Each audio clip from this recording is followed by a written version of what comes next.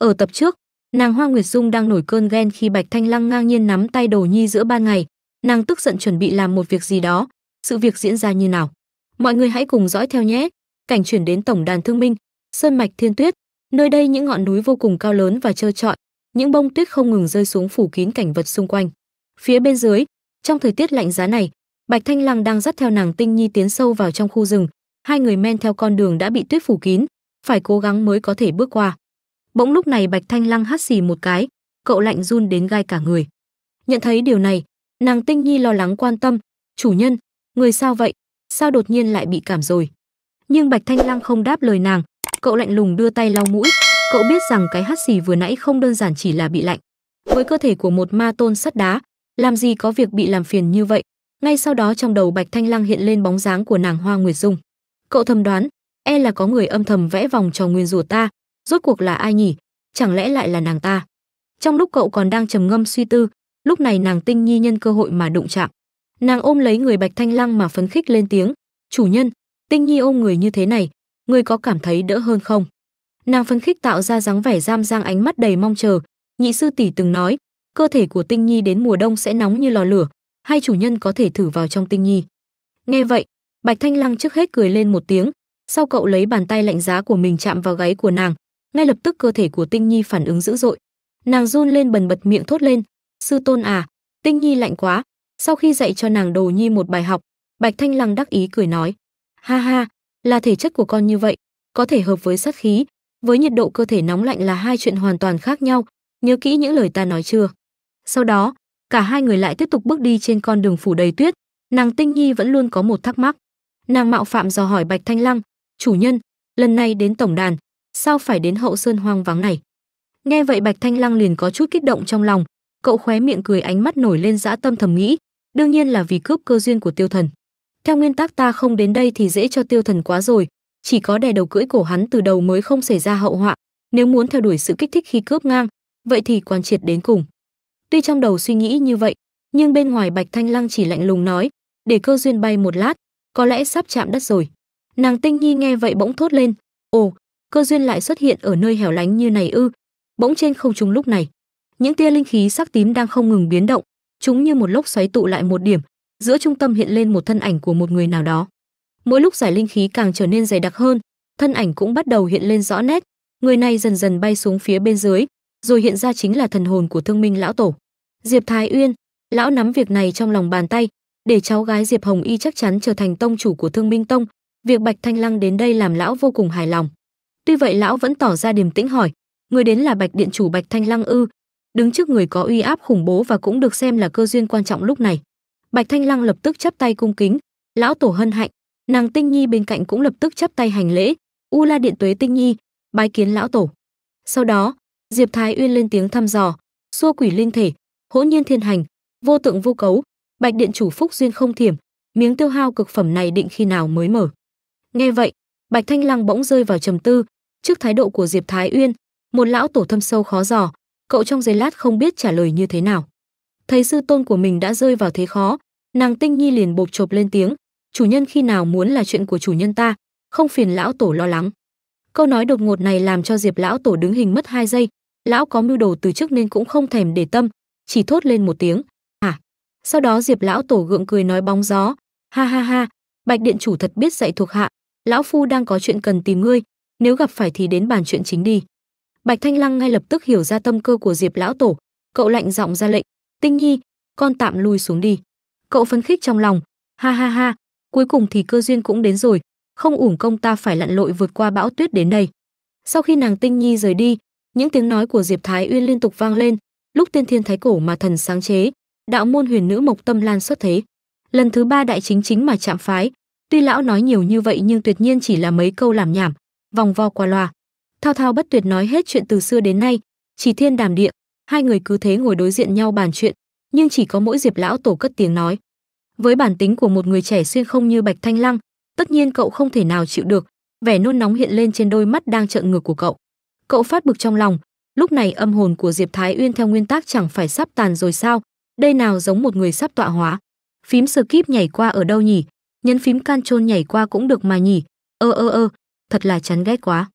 Một lúc sau, diệp lão tổ lúc này mới chịu dừng lại. Lão giọng nghiêm lại nói thanh lăng tiểu hữu thời gian của lão phu không còn nhiều nữa.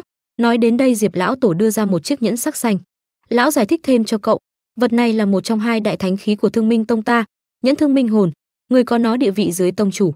Được vạn giáo chúng nhìn ngó vật này tặng cho cậu có thể giúp cháu gái ta diệp hồng y một tay không? Lão trực tiếp đưa ra một câu hỏi nhưng trong đó hàm ý vô cùng áp đặt. Nhìn thanh khí đầy hấp dẫn trước mặt mình, bạch thanh lăng tò mò gượng hỏi, hắc nguyệt đường chủ diệp hồng y, đây chính là người kế thừa đại vị mà ông chọn.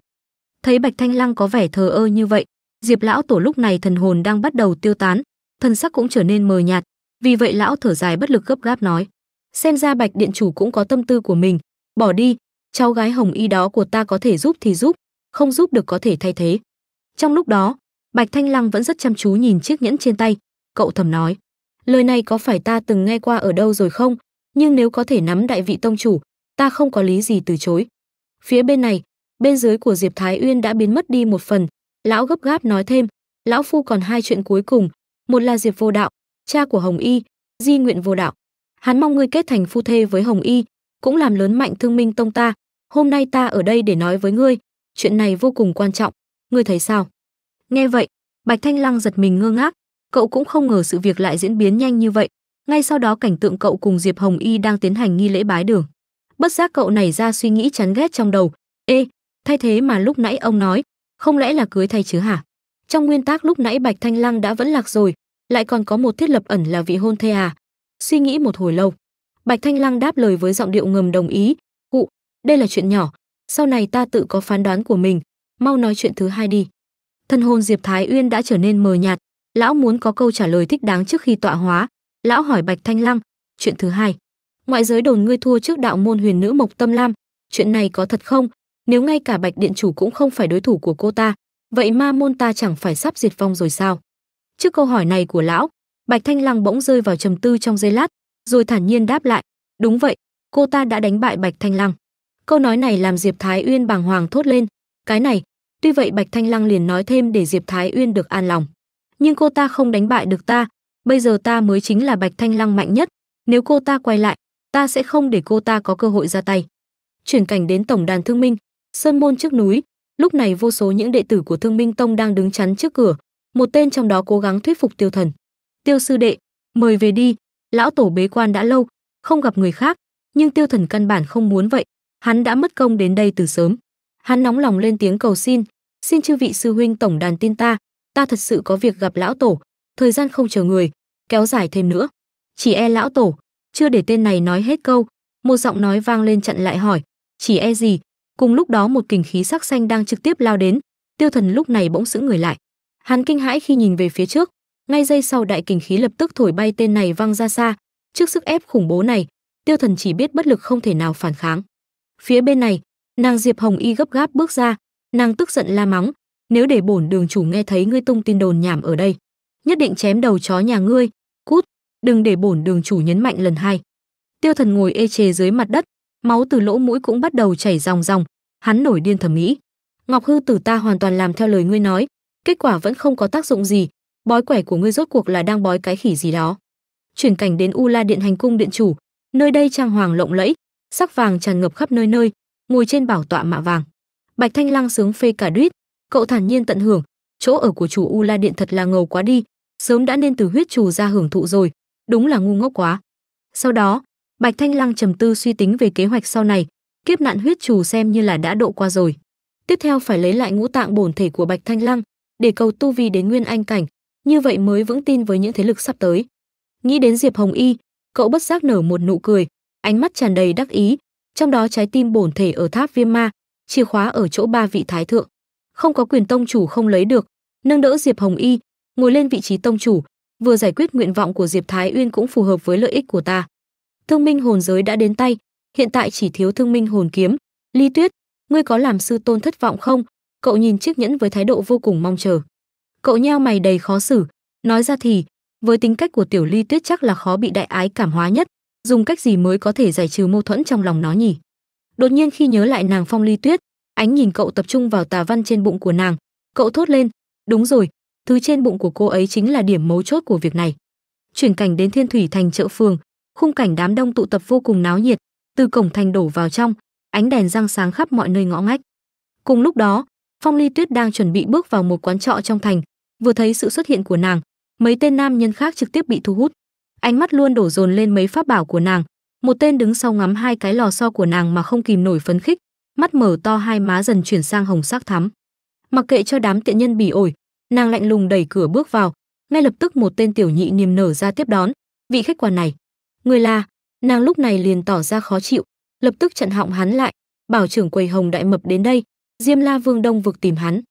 Nghe thấy vậy, nụ cười trên môi của tiểu nhị này lập tức tắt ngấm, thay vào đó là một cảm giác ớn lạnh dọc sống lưng. Hắn bàng hoàng lo lắng thốt lên, Diêm La Vương Đông vực ư? Không chần chừ hắn nhanh trí dẫn nàng đến một căn phòng. Hắn ở ngoài còn nàng một mình đi vào trong, nhìn cách bày trí có thể nói đây là một phòng khách để tiếp đón những người quan trọng.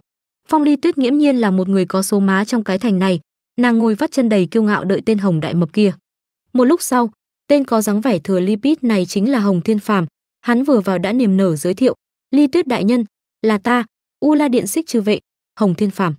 Ngay giây sau, hắn cũng biết được không thể động đến nàng này, lập tức mang ra một hộp gấm dâng lên, "Đây là ma, thứ mà điện chủ cần." Hắn vừa nói vừa run lên bần bật, mắt nhắm tịt mồ hôi rơi như thái bình mồ hôi rơi. Trái lại nàng Phong Ly Tuyết vẫn không hài lòng, nàng lạnh giọng ra lệnh, "Ngươi đích thân hộ tống, mau chóng mang về điện U La phục mệnh, ngoài ra, uống cái này vào." Nói xong nàng đưa ra một viên độc đan màu xanh sắc lục. Vừa nhìn thấy viên độc đan này, Hồng Thiên Phàm trở nên kích động vô cùng, hắn lúng túng giọng trở nên méo mó. Thất tuyệt dung thể đan, Ly Nguyệt đại nhân, ta luôn nghiêm túc làm việc không dám chậm trễ, cái này e là.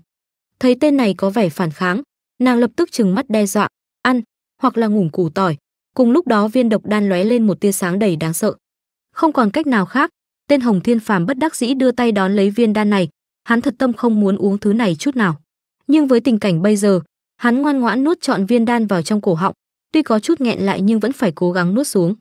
Sau đó hắn hậm hực rời đi, trên tay là hộp gấm mà hắn mang đến, trước khi rời đi hắn không quên nói lại, "Tại hạ, xuất phát ngày đây." Nhìn theo bóng lưng của Hồng Thiên Phàm, nàng Phong Ly Tuyết vẫn giữ thái độ lạnh lùng máu lạnh, nhưng ngay khi hắn khuất bóng, nàng mới thoải mái cởi bỏ lớp mặt nạ. Nàng không cần phải gồng nữa, giờ đây ánh mắt nàng nhìn xa xăm nói, "Mong đây là chuyện cuối cùng ta làm vì ma đầu đó, Linh Âm, kế hoạch của ngươi còn thuận lợi không?" Thế rồi nàng nhìn qua cửa sổ, bên ngoài ánh trăng đêm nay tròn rọi sáng, phần nào cũng đúng với tâm tư của nàng lúc này, nàng dấy lên một quyết tâm, từ nhỏ ta sống trong bóng của ma đầu đó. Trong lòng sớm đã bị ô nhiễm thành hình dạng của hắn, nhưng tiểu sư muội còn nhỏ, chúng ta làm chị nhất định phải giúp nó sớm ngày thoát khỏi bể khổ của ma đầu đó. Bỗng lúc này một cảm giác bất an chợt phút qua đầu của nàng này, nhìn xuống dưới, nàng cảm nhận cơ thể, sao lại bắt đầu đau rồi? Tà văn của ma đầu đó không hề kích hoạt. Chẳng lẽ ta trúng độc sao? Không thể nào, chẳng lẽ là lúc ta mở chiếc hộp đó ra, làm sao lại có thể bất cẩn như vậy được chứ? Vừa nói nàng vừa nhớ lại hình ảnh lúc ban nãy. Cơn đau ở phần bụng của nàng mỗi lúc một nặng hơn, những tà khí liên tục phát ra làm nàng trở nên vô cùng khó chịu, ánh mắt nàng trở nên đờ đẫn, sắc mặt cũng đã trở nên xám xịt. Nàng khó khăn cất tiếng nói, "Tiêu rồi, ta không mang theo đan dược tịnh hóa độc trướng, nếu độc trướng xâm nhập vào kinh mạch quanh người ta, chẳng lẽ phải sẽ?" Nhưng nàng lại nhắm mắt cam chịu, bỏ đi, thiên mệnh như vậy, bị ma đầu đó khống chế sống cũng không bằng bỏ mạng ở đây, cuối cùng ta cũng có thể giải thoát rồi. Ngay trong lúc nàng tuyệt vọng nhất, một thứ gì đó tác động làm nàng giật mình bừng tỉnh. Ánh mắt nàng trở nên kinh hãi tột cùng, thì ra cảm giác đó là từ những dị thể như những súp tu đang không ngừng vươn dài ra. Nó có sắc đỏ như là máu, trên mỗi súp tu bao bọc là một thứ chất nhầy trơn trượt, nhìn những thứ đó tổng thể vô cùng kinh tởm. Không dừng lại ở đó, những súp tu này liên tục mọc dài ra, phút chốc luồn xuống quấn chặt lấy phần bên dưới, nó luồn lách qua ngã ba ngã năm ngã bảy. Một chút vô tình đầy cố ý đụng trúng nụ cười dọc của nàng, ngay lập tức một cảm giác điên dại nổi lên, nàng tức giận chửi lớn, "Đậu xanh, dừng lại mau, sư, sư tôn đại nhân." Nàng nghĩ ngay đến Bạch Thanh Lăng, người mà nàng vừa là yêu quý nhất, cũng là người mà nàng căm phẫn nhất. Trong cơn đau như xé gan xé thịt, nàng giọng oán trách, ngay cả lúc này cũng không bỏ qua cho ta sao? Mà đầu. Bỗng lúc này một bàn tay nắm lấy vai của nàng, người này liền chấn an nàng, nghe lời ta, đừng cử động. Người này chính là Bạch Thanh Lăng, thân ảnh của cậu áp sát ghé tai nàng thủ thỉ, ngươi thân bám độc trướng, trên đời này chỉ có vi sư có thể cứu ngươi được mà thôi. Nghe những lời vừa có chút ma quái, vừa lại đôi phần ôn nhu, nàng Phong Ly Tuyết bàng hoàng cả người như hóa đá, không thể nào cử động được. Ngay giây sau cả người nàng bỗng trở nên mất kiểm soát, những dòng độc trướng theo kinh mạch của nàng đang không ngừng di chuyển lên bên trên. Một cảm giác đau đớn làm nàng hét lớn, a a a. Thế rồi sau một tiếng phụt, những dòng độc trứng pha lẫn máu của nàng bị đẩy hết ra ngoài, nó bắn tùm lum tung tóe ra sàn nhà bên dưới. Sau đó Bạch Thanh Lăng vui vẻ lên tiếng, độc chứng tràn vào đan điền đều có thể thanh trừ, cũng chỉ có ta có thể cứu ngươi như vậy.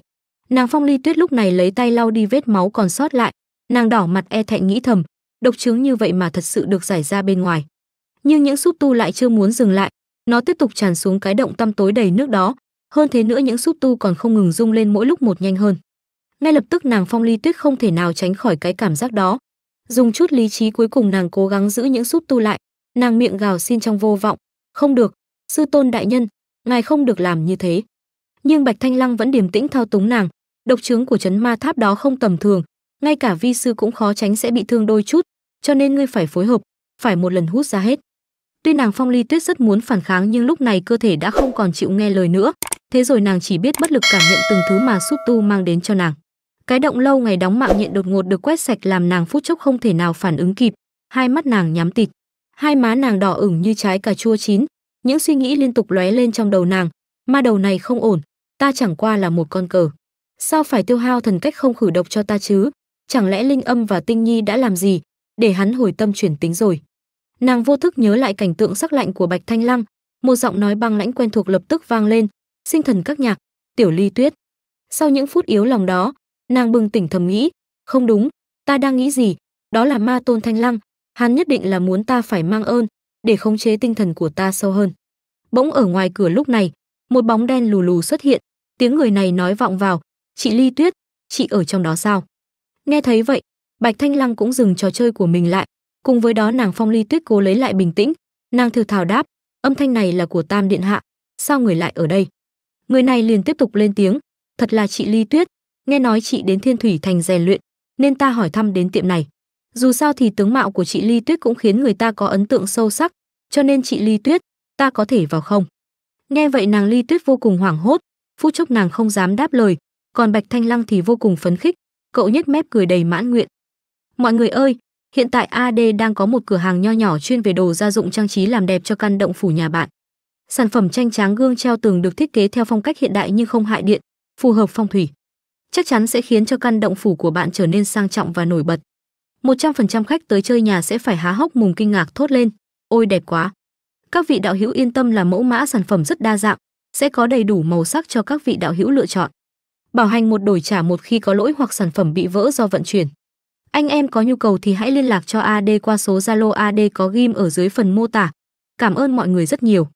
Dưới đây là hình ảnh một số mẫu mã nổi bật của máy dập Review Shop. Mời các vị đạo hữu xem thử. Đây là tranh mặt trăng tráng gương. Đây là tranh tráng gương đèn led có núi có trăng có hưu và sao, khung cảnh non nước hữu tình lung linh tráng lệ. Đây là tranh đồng hồ tráng gương có đính kèm sợi lông vũ phượng hoàng lửa. Còn đây là tranh đồng hồ tráng gương khổ lớn hình bông hoa. Đây là loại tranh tráng gương khổ to treo tường. Đồng hồ treo tường gấu trúc cute này. Tranh tráng gương non nước hữu tình này. Đồng hồ tráng gương con hươu siêu đẹp treo tường này. Đồng hồ tráng gương đèn led hình ngôi sao trang trí phòng này. Đây là đồng hồ quả lắc có mặt tráng gương siêu đẹp trang trí phòng này.